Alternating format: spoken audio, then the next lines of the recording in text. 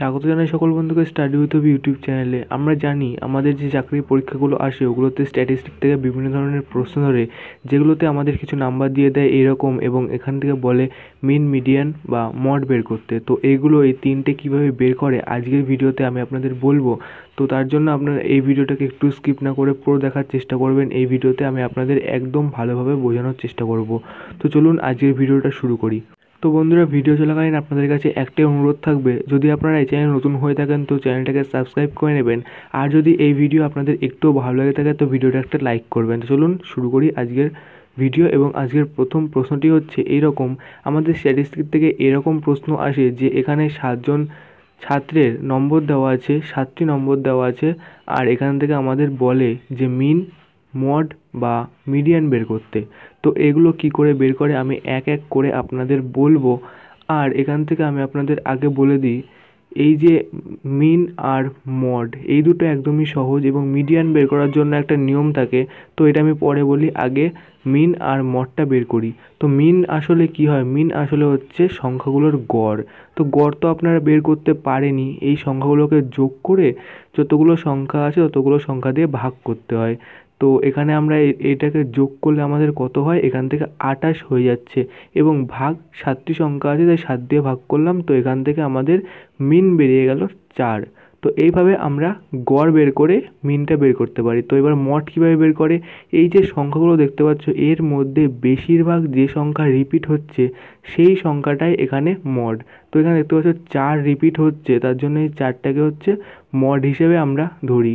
তো এইভাবে আমরা মিন আর মড বের করে ফেললাম। তো এই দুটো তো খুবই সহজ। এবার মিডিয়ান কীভাবে বের করে, আমি আপনাদের বলব। তো এইভাবে মড কি হলো? অতিরিক্ত যে সংখ্যাটা বেশিবার রিপিট হয় সেটাই হচ্ছে মড এবার মিডিয়ান তো মিডিয়ান কীভাবে বের করে? মিডিয়ান বের করার নিয়ম আছে একটু, সেটা আপনারা ভালো করে শুনবেন। খুব কঠিনও না এবং সহজ বললেই চলে। তো এখান থেকে দেখতে পাচ্ছ, যতগুলো সংখ্যা আছে ওইটাকে আমরা এন দিয়ে ইন্ডিকেট করি। তো এখানে যতগুলো, এখানে সাতটি সংখ্যা আছে, তাই এনকে আমরা সাত ধরবো। এরপর এরপর হচ্ছে এই এন জোড়ও হতে পারে বিজোড়ও হতে পারে, তাই না? এখানে যেরকম সাত সাত কী সংখ্যা? সাত বিজোড় সংখ্যা। তাই এখানে জোড়ও হতে পারে বিজোড়ও হতে পারে। জোড়ের জন্য একটা নিয়ম আছে, বিজোড়ের জন্য আরেকটা নিয়ম আছে। তো কীভাবে আমরা করব? তো যদি এখানে দেখতে পাচ্ছ, এখানে আমাদের বিজোড় দেওয়া আছে, তাই না? তো এখানে সাতটা সংখ্যা আছে, সাত কি বিজোড়। এবার কি করব আমরা? মিডিয়ান বের করার জন্য আমাদের যে সংখ্যা ক্রমটি দেওয়া আছে, ওইটাকে আমরা ছোটোর থেকে বড় সাজাবো। তো বন্ধুরা, ছোটোর থেকে বড় আগে সাজাতেই হবে, না সাজালে এটা ভুল হয়ে যাবে। তো প্রথম স্টেপ হচ্ছে আমাদের এটাকে ছোটোর থেকে বড় সাজানো। তো এইভাবে তোমরা দেখতে পাচ্ছ আমি ছোটোর থেকে বড় সাজাচ্ছি। তো এইভাবে তোমাদেরও সাজিয়ে নিতে হবে প্রথমে এবং তারপর এবং সাজানো হয়ে গেলে তারপর কী করতে হবে আমি আপনাদের বলে দিচ্ছি চার হয়ে গেছে, চারের পরে পাঁচ নেই, ছয় আছে এবং ছয়ের পরে এখান থেকে আমাদের কত আছে? সাত নেই, আট আছে। তো এই আটটা লিখে দেওয়ার পর এবার আমরা কী করব? এইবার আমাদের যে এই এনটা জোর না বিজোড়, এটা আমাদের ফলো করতে হবে। তো আমাদের এখানে এন কত? এন সাত। এন হচ্ছে বিজোড়। তাহলে আমরা কি করব? এন বিজোড় হলে আমরা এখান থেকে এইভাবে করে নিতে পারি এন সমান সমান সাত। তো এনটাকে আমরা কি করব? প্রথমে এখানে এন সমান সমান সাত লিখব। এরপর যে সাত আছে এর জন্য আমরা সাত লিখলাম। এরপর আমরা কি করব? এই এনটাকে এক যোগ বাই দুই, ঠিক আছে? N plus one by two করব। যদি বিজোড় থাকে তাহলে এটা করব। তাহলে N plus one by two হচ্ছে আট বাই দুই। তো এখান থেকে আমাদের চার বেরিয়ে গেল। মানে চারতম সংখ্যাটাই হচ্ছে আমাদের মিডিয়ান বা মধ্যমা যাকে বলে। ঠিক আছে, চারতম সংখ্যা। এই যেটা চার বেরোলো, এটাই কিন্তু উত্তর না। আমাদের এই ছোটোর থেকে বড়োর যে ক্রমটা সাজিয়েছি, এখানে চারতম সংখ্যাটাই হচ্ছে আমাদের উত্তর। আর চারতম সংখ্যা এখান থেকে চারই হয়ে যায়। আর যদি জোর হয় এই এনটা তাহলে আমরা কি করব? যদি সংখ্যাটা, যদি এনটা জোর হয়, তাহলে আমরা এই এন যে আছে এনটাকে আগে বাই টু করব। মানে ছয় বাই দুই। তার মানে এন বাই টু করব প্রথমে যদি জোর হয়। তো এন বাই টু করলে এখান থেকে তিন বেরিয়ে যাচ্ছে, তাই না? তিন কিন্তু উত্তর নয়, তিন বেরোলো, এবার এর সাথে এটা হচ্ছে তিনতম সংখ্যা, যোগ চারতম সংখ্যা করব মানে এক যোগ হবে। তিন, তিনের সাথে এক যোগ করলে চার, তাহলে তিন যোগ চার বাই দুই, এখান থেকে আমাদের কত বেরোচ্ছে? তিনতম সংখ্যা কত? তিন আর চারতম সংখ্যা চারই, তো এখান থেকে আমাদের সাত বাই দুই বেরিয়ে যাচ্ছে।